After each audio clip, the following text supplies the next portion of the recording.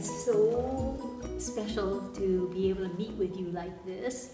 I am here at our in our Sunday school room, as you can see, and I know you're at home. We, all our Sunday school teachers, just want to say we miss you so much, but we are so excited to be able to meet with you like this. So I know you've been busy with school and busy with different activities, but we are so um, blessed to be able to be together once again. And when we left the last time, we had food piled up high, and we had food down here, and it's all gone now because Vicar Matt picked it up and took it to the special CRCC del delivery area for our people who need it so so much. So we're so thankful for all your help in bringing food. Um, also, we're going to have a special lesson, and our lesson is about disciples. And I'd like to um, today want to know whether you can tell me what do you think a disciple is? Talk to your brother, sister, talk to your mom, and just, or dad, whoever's there, or just say it, pretend like I can hear you. okay? Ah, right. You know what? A disciple is someone who follows Jesus. And you know what? Um, Jesus had a special team, a special team that he called his special disciples, and there were, I wonder if you remember how many? Twelve. He had 12 disciples, and he invited them to come with them. So there's lots of other people who followed him, but these 12 were his 12 that he taught and um, spoke to and, and helped them learn different things. Um, so um, if you're thinking like today, who would a disciple be today in our life right now? Who is here um, that helps us learn more maybe about God, maybe helps us learn more about Jesus. Um, who do you think would be doing that? Okay, if you said Pastor Kate, yes, she is always teaching us every week, even via the um, Facebook and the website, right? And Vicar Matt, right? Well, what about in your home? Do you have anybody in your home that maybe is one of your um, disciples that lead you? Your, ah, your mom and your dad, of course, they are always leading and guiding us in that way. Well, you and I, um, who believe in Jesus, are all disciples. We are all disciples. So we have a special story today. And the special story comes from our Sparks Story Bible. And I know that it has the fun cartoony um, characters in it. And this one is called, it lets us know how Jesus chose his, his disciples. So it starts off like this. I hope you can see. There the disciples are. I'm going to set it up here a little bit, and I hope that will come out. See, Jesus told everyone he met, repent. Stop the bad things you're doing and turn to do good things. And one day, Jesus was at the sea, the seashore, and a crowd had gathered to listen to him. And they wanted to know what he had to say. Well, Jesus saw a boat up there, and he hopped onto this fishing boat, and so more people could see him. So if he's in the ocean, in the lake there, they could see him as he's in the boat. Now, thanks for letting me use the boat, Jesus said. And then he said, said to the Fisher brothers, Simon and Andrew, I want to thank you with lots of fish. Throw out your nets. We'll try, they sighed. He says, but we finished, fished all, all night and we caught nothing.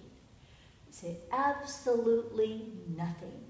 They exclaimed. Well, suddenly they felt their nets tug, and then they were overflowing with fish. Rip, pop, snap. The nets were so full that they were breaking. The brothers pulled in so many fish that their boat started to sink. Help, they called to their friends. in another boat? We have too many fish. James and John rushed to their rescue. The weight of the fish took their boats under two. So now there's two people, now there's four people in the boat. They knew that their new friend, Jesus, must be someone very special because he told, he told them to catch those fish. Hey, Simon and Andrew. Hey, James and John. Follow me, Jesus called to them. Let's catch people instead of fish. The two sets of brothers dropped their nets into the sea. They were not fishermen anymore. Now they were disciples. Now they would follow Jesus. Well, Jesus met a tax collector in his office. Hey, Matthew, follow me, Jesus called. Let's collect people instead of money. Clink, Matthew, the tax collector, dropped his coins to the ground, and he was not a tax collector anymore. And now he was a disciple. Now he would follow Jesus.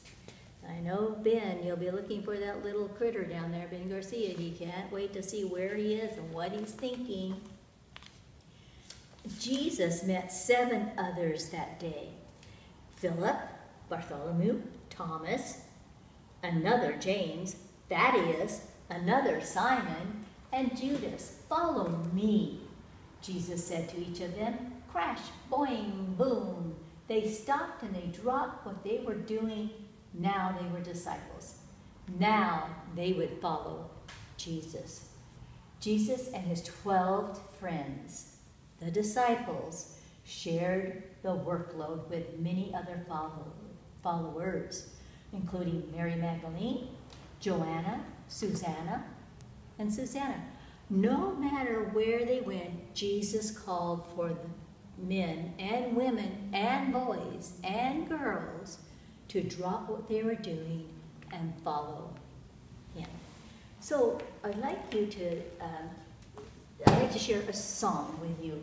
And this is the disciples list, and it has all 12 names on it. And it's such a special song. So let's see. All will know that you are my disciples if love one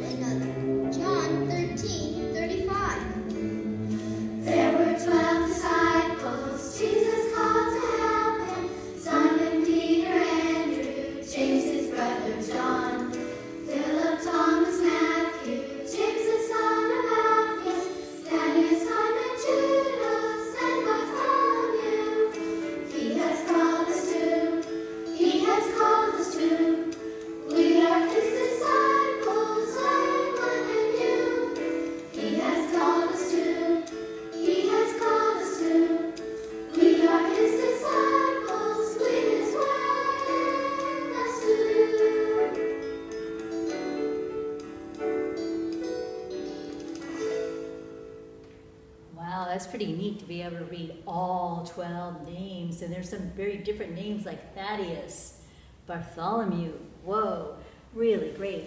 Well, you know what? Um, if we sing that song, we'll be able to read, not only say those words, but read those words. Um, I wanted to share, uh, have you do a project at home. Just a simple project. I would like you to, I'm just going to get this piece of paper here. And if I take this down, um, and I want you to draw Jesus and the 12 disciples. Now you think, wait a minute, I, I, people are kind of tricky to draw, but no, just, just use like stick figures. So in your picture, I need to see 12 disciples, but also Jesus. So I'm going to make Jesus over here. I'm going to make a circle of a stick figure. There we go. And maybe he's reaching his hands out. I can maybe put um, a robe on him later. Um, you know, when Jesus, um, Bible times, he probably had fairly long hair. I don't think they had barbers like we do. Okay, now 12 need to be there. I could put them around a table. I could put them some in the sea. I could put them following him at like the big group shot at the end. So I think what I'm gonna do is put uh, a little bit of the lake, and maybe I'll put out one boat.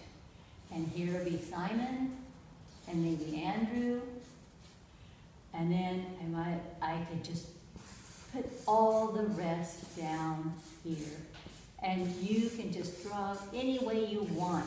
It doesn't have to be anything difficult. So, but see, now let me see how many I have. One, two, three, four, five, six, seven. I've got to keep going. So when you get your picture done, put your name on the back of it, okay? And we'll put the, drink, and I want you to save it in a special place and bring it to us when we get to, when we're able to come together again, okay? Because then we can decorate our room with what you've done.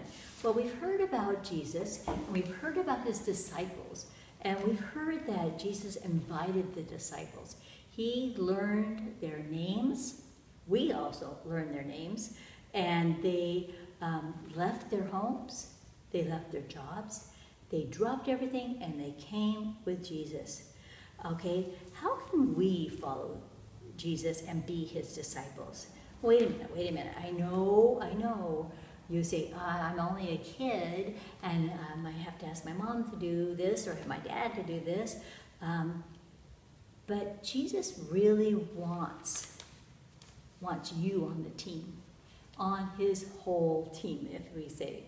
Um, and he wants kids that will maybe um, be willing to talk about God. Talk about God to your friends. Maybe, maybe someone who, when you see that they, in your class, when you get back to your class, or you see that someone isn't a friend, or doesn't have a friend, or uh, needs a friend, that you might be that person for that person. That's who Jesus wants to see. Look for opportunities. All the things you do with your good manners, you're showing respect, and all these things are ways to show um, that you're one of Jesus, Jesus's disciples. So let's close. Let's close in a prayer. Right? Let's bow our heads. Dear Jesus, we want to follow you. We want to be your disciples. Help us understand how we can be your disciples today, tomorrow, and always. Amen. Bye, everybody. We'll see you uh, next week, maybe. Okay, and we're going to learn about one disciple that's one of these 12 that um, is, uh, has a special message for us, too. Bye bye.